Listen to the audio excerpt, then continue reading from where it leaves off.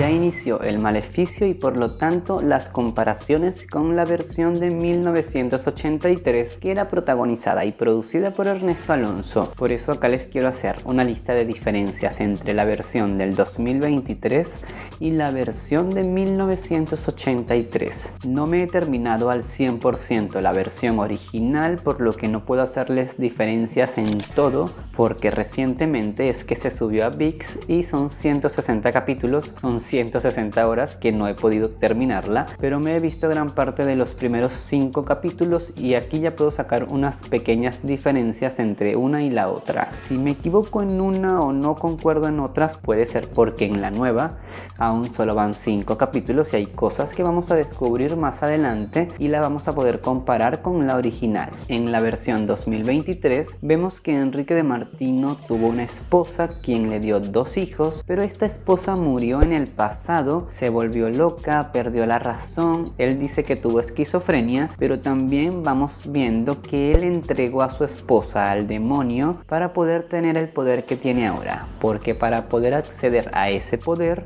él tenía que sacrificar lo que más amaba, y lo que más amaba era esa esposa, Nora, que más adelante la vamos a ver como un fantasma, pero que hasta el momento no aparece y es interpretada por Ana Belena. En la versión original, Nora, interpretada por Norma Herrera, no muere. Ella sigue con vida, pero está divorciada de Enrique. Este hombre nunca la amó y la llevó al alcoholismo, la volvió nada para separarse de ella y apartarla de sus hijos, porque él dice que sus hijos le pertenecen a él y no a la mujer que los Así que se divorcia de Nora, la saca de su familia, la saca de su vida y no permite que tenga contacto con ninguno de sus hijos. Nora años después supera el alcoholismo y pretende vengarse de Enrique, aunque ella sabe que contra ese hombre no puede. Pero ella quiere hacer su intento porque este hombre le quitó a sus hijos y la dejó en la nada. Marlene Favela interpreta a Beatriz en esta nueva versión y nos muestran que ella es una viuda que amó muchísimo a su este falleció y dejó un gran vacío en ella y en sus hijos. Pero en la original nos muestran que el marido murió en un viaje a Brasil, pero ese viaje lo estaba haciendo porque estaba abandonando a Beatriz y a los hijos el mismo día que Beatriz estaba dando a luz al chico más pequeño, al hijo más pequeño, se va del país, allí fallece y ella más nunca sabe de este porque cree que murió y luego resulta que no murió este hombre aparece en su vida cuando ella ya está con Enrique de Martino, pero todo ese tiempo el marido se estuvo haciendo pasar por su hermano gemelo, quien vive en Brasil, y ese hermano gemelo en realidad había sido asesinado con anterioridad por la organización que maneja Enrique de Martino, así que ya por ahí están enlazados. Él se cansa de estar alejado de su familia y de sus hijos y decide regresar, pero cuando regresa ve que su esposa y sus hijos están con Enrique Enrique de Martino y por lo tanto están prácticamente dentro de la organización que mató a su hermano. En la nueva no sabemos si el marido va a resultar que está vivo, pero al parecer nos muestran que sí falleció, que ella lo amó demasiado, que sufrió mucho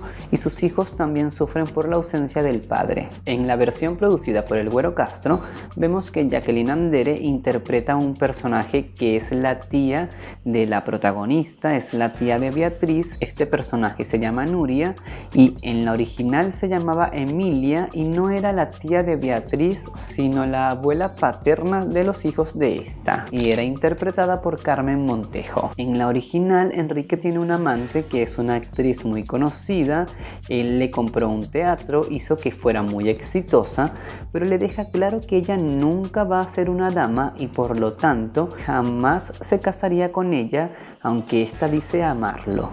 En la nueva versión, este personaje es interpretado por Verónica Montes y ella también desea casarse con Enrique, pero este no la quiere porque no la considera una mujer de su altura. En la versión de 1986, la protagonista no tiene un novio, sino un amigo que está casado pero a punto de divorciarse porque su esposa está enferma mentalmente y él la interna en un psiquiátrico.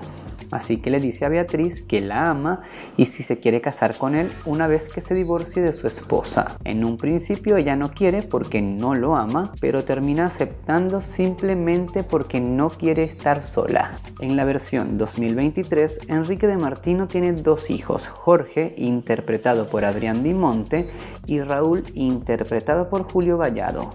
Pero en la original él tiene tres hijos, Jorge, interpretado por Humberto Zurita, Raúl, interpretado por Sergio Jiménez, y César, interpretado por Sergio Goiri, siendo Raúl, el interpretado por Sergio Jiménez, el hijo mayor pero ilegítimo. Los tres viven en la mansión de Enrique y este no hace distinción hacia él jamás, porque en la historia él deja claro que su sangre jamás será negada y quiere y cría a los hijos por igual. Sin embargo, otros personajes dentro de la historia siempre dejan en claro que Raúl es un chico ilegítimo y que no va a heredar nada del padre. En la nueva versión, en la del Güero Castro, unieron a dos hijos a Raúl y a César y crearon simplemente a Raúl. Suprimieron al hijo mayor ilegítimo y solamente existen dos hijos. O puede ser que más adelante aparezca este hijo ilegítimo, pero si aparece, Enrique no sabe que existe porque entre las condiciones para pactar con el demonio está que ellos no pueden negar a su sangre. Y si Enrique tiene un hijo ilegítimo y nunca lo reconoció, entonces ya no está a la altura del demonio para tener su poder. Como les mencioné al principio, Ana Belena interpreta a Nora, la primera esposa de Enrique de Martino, que en esta nueva versión ella está muerta y Enrique sí la amó. En la historia ella va a aparecer como un fantasma que se le aparece a Juanito, el hijo de Beatriz, y va a conversar con él, lo va a alertar de lo que va a pasar en la mansión, pero este personaje, Nora, estaba vivo en la versión original, sin embargo existía un fantasma que hablaba con el niño y lo alertaba. Ese fantasma era interpretado por Ana Patricia Rojo, siendo una niña como de 9-10 años, y se llamaba Liliana.